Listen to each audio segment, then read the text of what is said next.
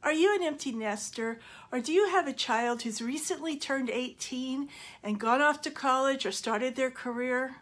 Well, congratulations, you have raised a young adult. But do you know the one legal document that you need your young adult child to give you?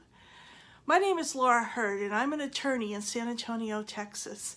And when my child turned 18 and left home, I was terrified to know that if they were in a a um, accident, a car accident on the way back to school after the holidays, or if there was a shooter incident on campus, or mass injuries at a concert that I'd known that they'd gone to, if I called the hospital, they would not tell me whether or not my child was in that hospital.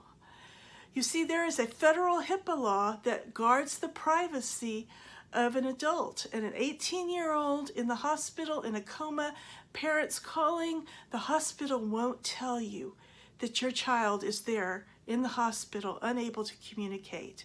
So how do you get around that? You need either a HIPAA release or better yet, a medical power of attorney.